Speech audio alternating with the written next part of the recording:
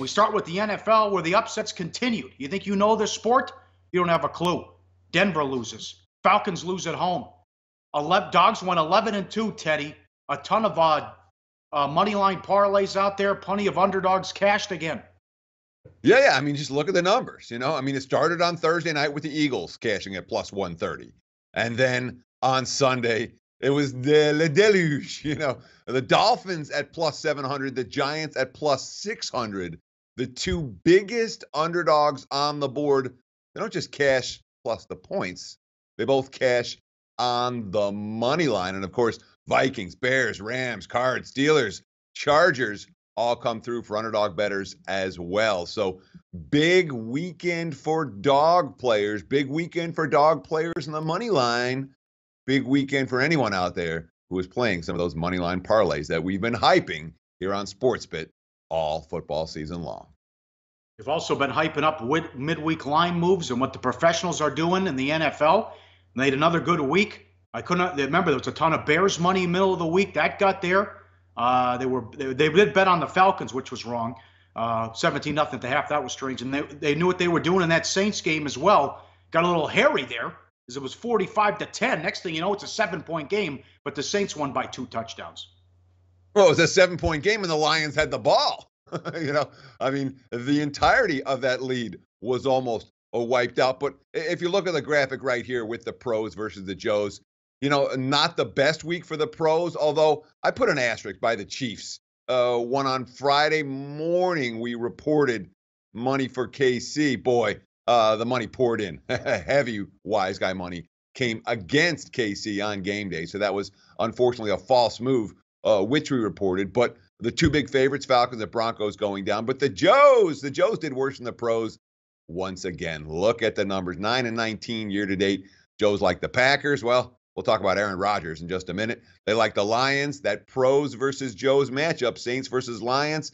Pros got it right again. I believe they won every one of those uh, this season behind another big day uh, from Drew Brees and a Saints defense that scored touchdowns on possession after possession. And of course, the Bucs and Broncos are both going down as well. Very popular plays amongst recreational bettors. Though the game day wise guy money, you talked about it. There was money on the Bears uh, on game day. Big wise guy money on the Bears. Obviously, Saints money came in.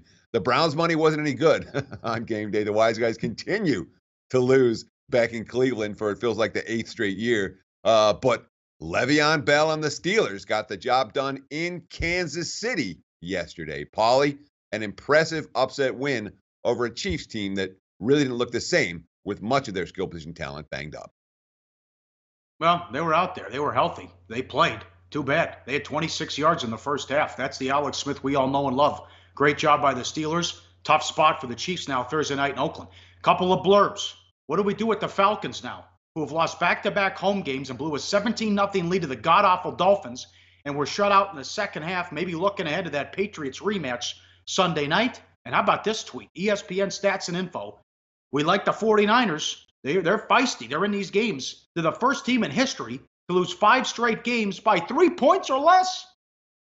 And listen, it was the mother of all bad spots, the mother of all bad spots for San Francisco uh, yesterday. Yeah. When you think about it, they're coming off not one, but two consecutive overtime losses where the defense was on the field forever, playing their third straight road game, traveling back east for an early start game, and oh, their opponent is coming off a bye. So what Sanford? Oh, by the way, they benched their quarterback early on. Brian Hoyer was rough uh, in that con- contest. C.J. Beathard came in and led uh, a rally, and it, were it not for a very spotty call at the end of the game, San Fran might have been another underdog that won the game in outright fashion. So, yeah, first team in NFL history to lose five straight by three points or fewer. That's good news if you've been betting on the 49ers. They've been underdogs and cashing tickets every single week. Yep. And here we go. A conundrum for bookmakers and the public.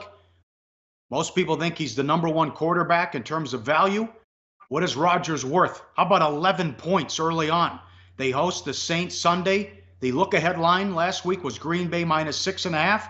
Now you're seeing five and five and a half as we tape this on the Saints, and the public's not even involved yet.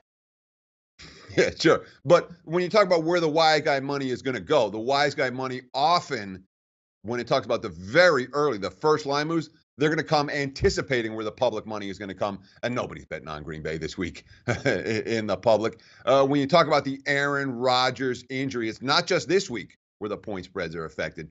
Think about things like the MVP odds, where Rodgers was the favorite, or Super Bowl odds, where Green Bay was five to one.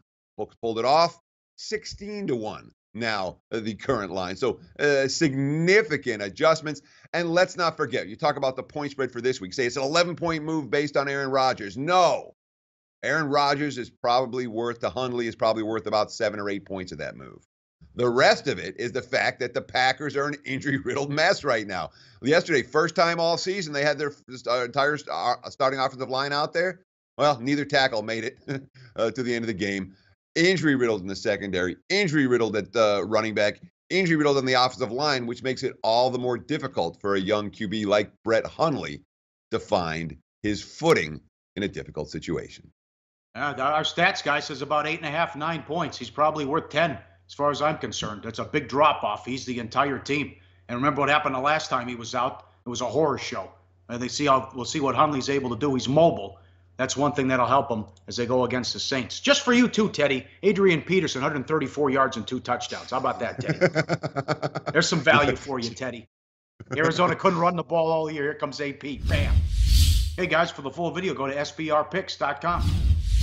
Hey guys, thanks for tuning in to our channel. Now, we've put a lot of work into producing all these free videos, so please help us out and keep all our content free for you forever by simply liking, sharing, commenting, and subscribing. Now, not to mention, a visit to our industry leading website will warm the hearts of all our SBR employees, especially myself. Now, the links are over there to the left, uh, so do check those out. Thanks for watching.